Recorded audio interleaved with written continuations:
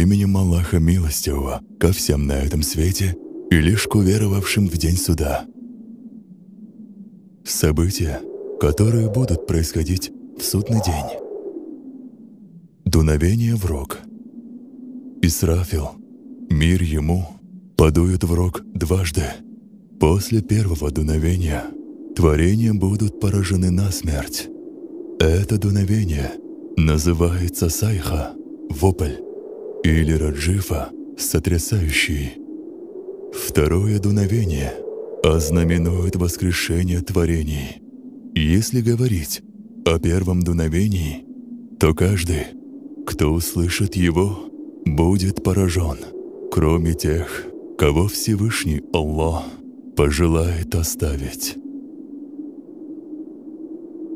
Всевышний Аллах сказал, «Но подуют в рог, и тогда будут поражены те, кто на небесах, и те, кто на земле, кроме тех, кого Аллах пожелает оставить. Потом в него подуют еще раз, и тогда они встанут и будут смотреть.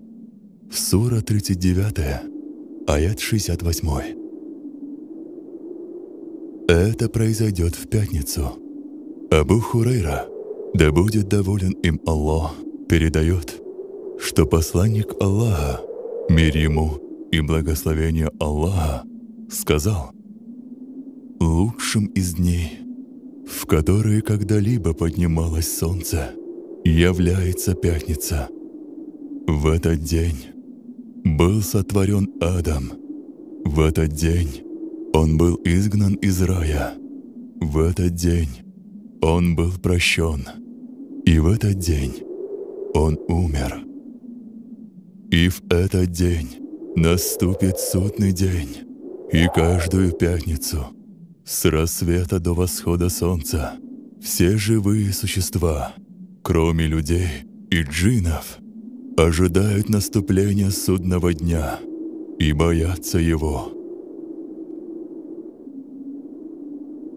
Абдулла ибн Амр ибн Аль-Ас, да будет доволен Аллах им и его отцом, передает, что посланник Аллаха, да пребудет милость Аллаха над ним, сказал, а потом подуют в рог, и каждый, кто услышит этот звук, станет внимать ему, наклоняя голову и вытягивая шею.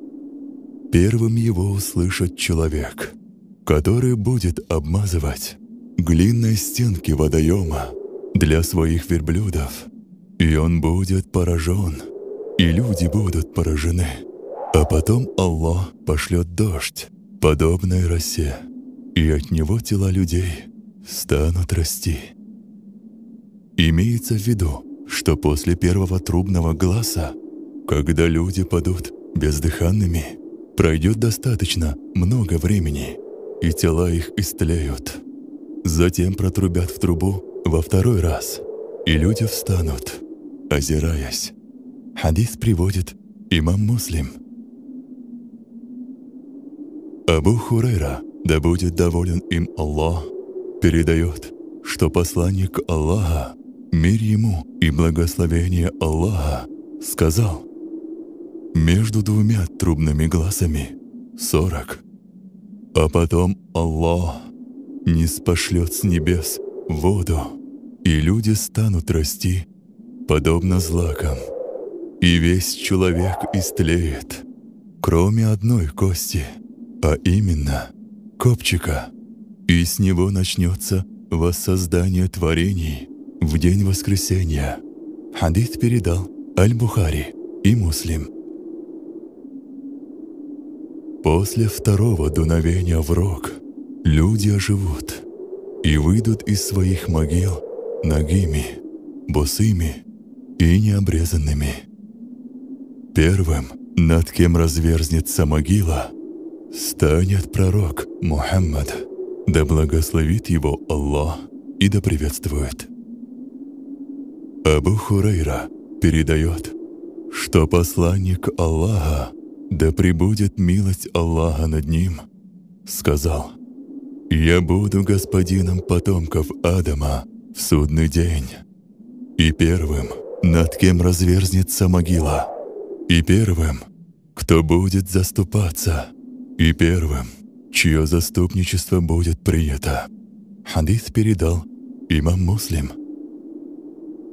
Пророк Мухаммад, да пребудет милость Аллаха над ним, сказал, «Первым из творений в судный день будет одет Ибрахим, мир ему».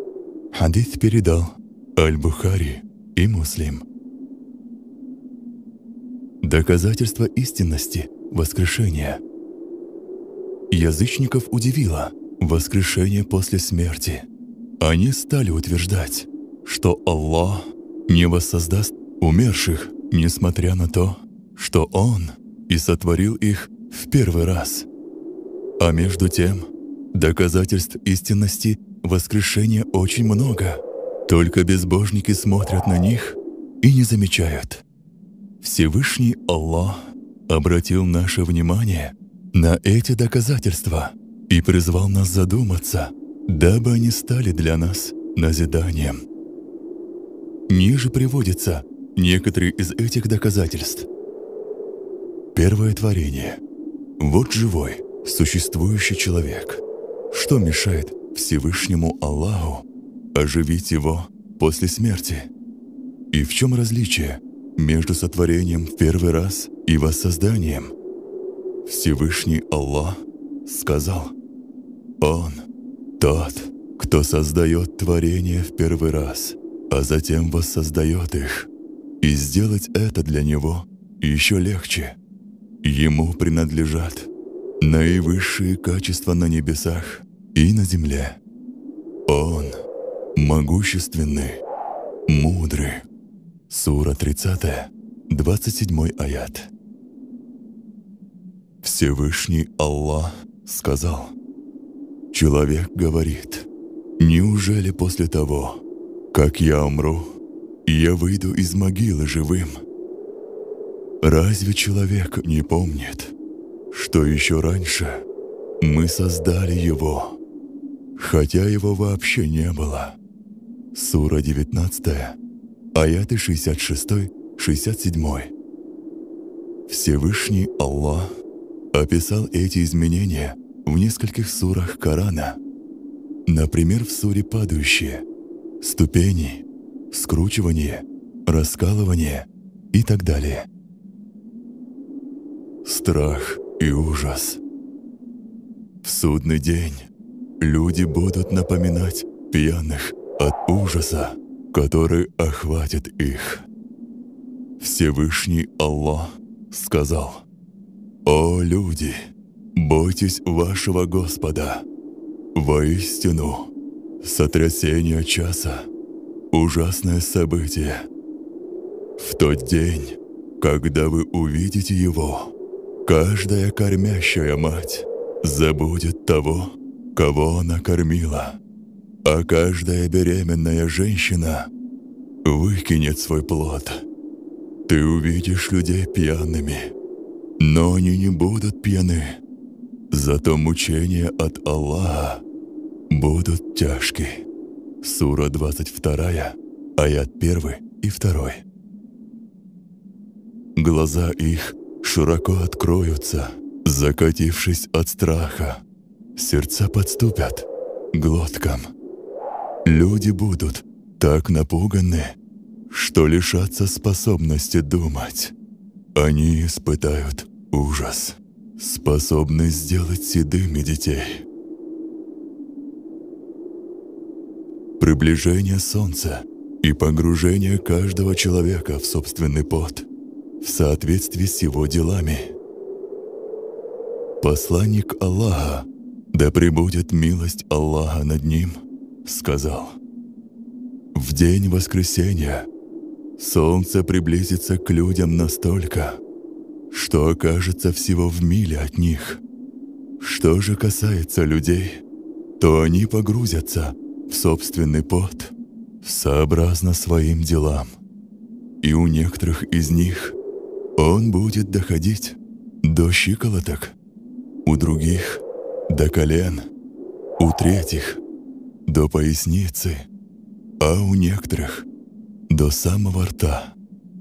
Сказав это, пророк, да пребудет милость Аллаха над ним, указал на свой род. Хадис привел имам Муслим. Абу Хурейра, да будет доволен им Аллах, передает, что пророк, да пребудет милость Аллаха над ним, сказал, в день воскресения люди будут обливаться потом так, что пот их пропитает землю на 70 локтей в глубину, а некоторых из них он взнуздает, ибо поднимется до уровня их ушей. Хадис передал Аль-Бухари. В этот день Всевышний Аллах укроет своей тени семерых. Посланник Аллаха, да пребудет милость Аллаха над ним, сказал, «Семерых укроет Аллах в тени своей в тот день, когда не будет иной тени, кроме его тени, справедливого правителя, юношу, росшего в поклонении Господу, человека, сердце которого привязано к мечетям, двоих, которые любят друг друга ради Аллаха, встречаясь и расставаясь только ради Него. Мужчину, которого пожелала знатная и красивая женщина, и который сказал «Поистине, я боюсь Аллаха, того, кто подает милостыню настолько тайно, что его левая рука не ведает, сколько подает правая, а также того, чьи глаза наполняются слезами, когда он поминает Аллаха в одиночестве. Хадис передали Аль-Бухари и Муслим. Представление дел и расчет. Имеется в виду то время, когда Всевышний Аллах подвергнет своих рабов расчету. Всевышний Аллах сказал, «В тот день люди выйдут толпами, чтобы узреть свои деяния. Тот, кто сделал добро весом в мельчайшую частицу, увидит его, и тот, кто сделал зло весом в мельчайшую частицу, увидит его. Сура 99, аяты 6 по 8. Всевышний также сказал, «В тот день вы предстанете, и ни одна ваша тайна не останется сокрытой». Сура 69, аят 18. В этот день органы человека будут свидетельствовать о его деяниях. Всевышний Аллах сказал, «В тот день, когда их языки, руки и ноги будут свидетельствовать против них о том, что они совершили.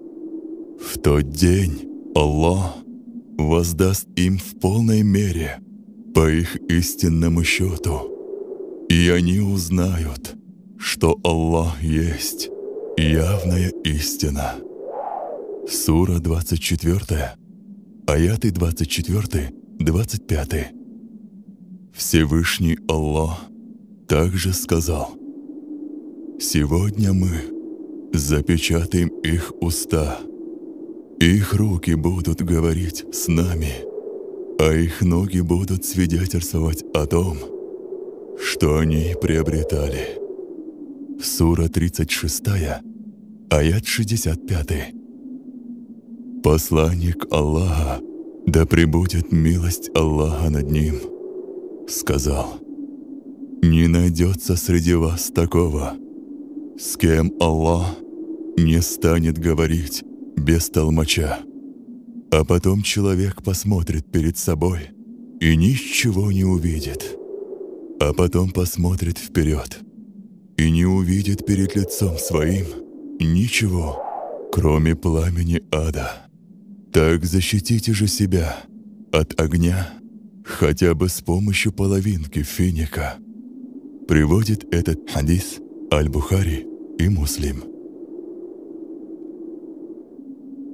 Посланник Аллаха, да пребудет милость Аллаха над ним, также сказал, «Каждый, кто подвергнется расчету в судный день, непременно погибнет».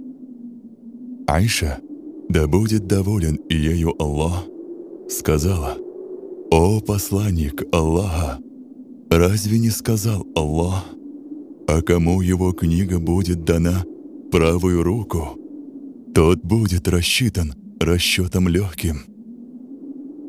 Посланник Аллаха, да пребудет милость Аллаха над ним, сказал, «Это показ дел, а тот, чьи дела будут обсуждаться, обязательно подвергнется наказанию».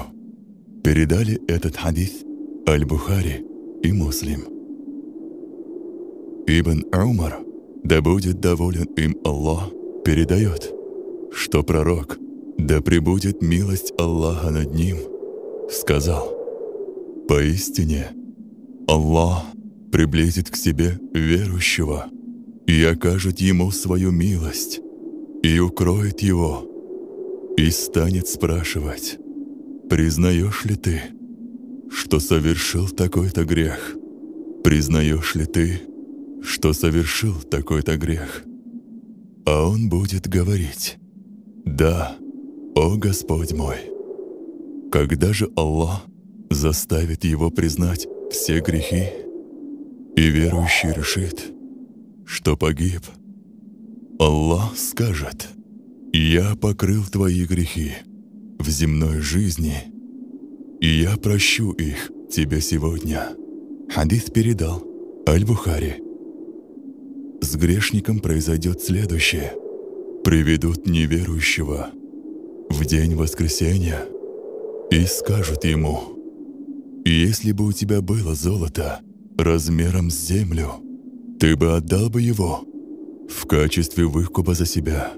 Он ответит, «Да». Тогда ему будет сказано, «А ведь ранее я просил тебя о том, что легче этого». Хадис приводит Аль-Бухари. А в другой версии говорится, «А ведь я просил тебя о том, что легче этого, когда ты был в крестце Адама, не предавать мне сотоварищей, но ты упорно делал это», передали Аль-Бухари и Муслим. Посланник Аллаха, да пребудет милость Аллаха над ним, сказал, «Семьдесят тысяч верующих войдут в рай без расчета», передали Аль-Бухари и Муслим. Первыми подвергнутся расчету три категории людей. Первая категория – это люди, которые приобретали знания и читали Коран только для того, чтобы их называли учеными и чтецами. Вторая категория – люди, которые сражались ради того, чтобы их называли храбрецами. Третья категория – люди, которые расходовали средства на пути Аллаха, чтобы их называли щедрыми. Передал имам Муслим. Также будут сведены счеты между рабами Аллаха. Посланник Аллаха, да пребудет милость Аллаха над ним, сказал, «Кто нанес своему брату обиду, затрагивающую его честь или имущество, пусть загладит ее сегодня, до того, как с него будет взыскано за нее в день, когда не будет ни динаров, ни дирхемов. Если у него найдутся благие дела, из них возьмут в соответствии с той обидой. А если у него не найдется благих дел, то у обиженного им – возьмут соответствующее количество скверных дел и возложат на обидчика. Передал Аль-Бухари. Посланник Аллаха, да пребудет милость Аллаха над ним, спросил людей, «Знаете ли вы, кто является разорившимся?» Они ответили, «Разорившимися среди нас называют тех, у кого нет ни денег, ни имущества». Тогда пророк, да пребудет милость Аллаха над ним, сказал, «Поистине, разорившимся из числа членов моей общины окажется тот, кто в день воскресения принесет с собой молитвы, посты и закят, но при этом выяснится, что он оскорбил этого, оклеветал этого, присвоил имущество этого, пролил кровь того и ударил этого. И тогда что-то из его благих дел будет отдано этому, а что-то тому. И если запас его благих дел иссякнет прежде, чем он сумеет рассчитаться со всеми, из грехов, обиженных им, станут брать что-то и возлагать на него, а потом его бросят в ад. Передал имам Муслим. Развертывание свитков. Верующий получит свиток с записью своих дел спереди и возьмет его правой рукой, после чего поднимет его и покажет всем, радуясь, и вернется к своим близким радостным. А неверующий возьмет свой свиток левой рукой из-за спины, пряча его. Он будет угрюмым и опечаленным, и будет взывать «О горе мне!» Всевышний Аллах сказал «Читай свою книгу. Сегодня достаточно того, что ты сам сосчитаешь свои деяния против самого себя». Сура 17, аят 14. Весы. После представления дел и расчета будет взвешивание дел, свитков и самого человека. И одни дела окажутся на весах тяжелее других. И главным критерием будет не количество дел, совершенных человеком, а их качество, то есть вид, правильность совершения и искренность намерения. Тяжелее всего на весах окажутся свидетельства единобожия с соблюдением всех связанных с ним условий, благонравия, а также слова «Пречист Аллах» и хвала Ему, «Пречист Аллах, великий». Субханаллахи ва бихамдихи, Субханаллахи ал-азим. именем